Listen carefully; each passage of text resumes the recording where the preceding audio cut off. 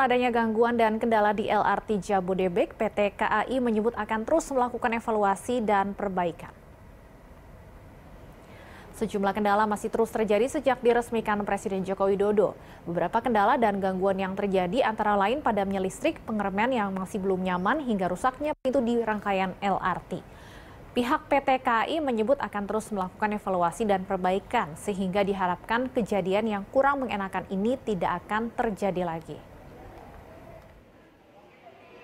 Kemudian juga uh, beberapa penumpang dari kemarin sampai hari ini mengeluhkan masih adanya hentakan-hentakan pada saat pengereman, ya, pengereman yang tidak semut ya.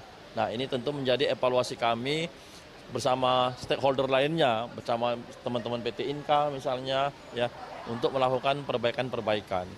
Kemudian juga uh, tadi sempat terjadi mati lampu di dalam gerbong LRT dan AC-nya sempat mati sebentar. Tapi itu bisa langsung ditangani dan kereta tetap jalan dan ini tidak tidak begitu berdampak kepada perjalanan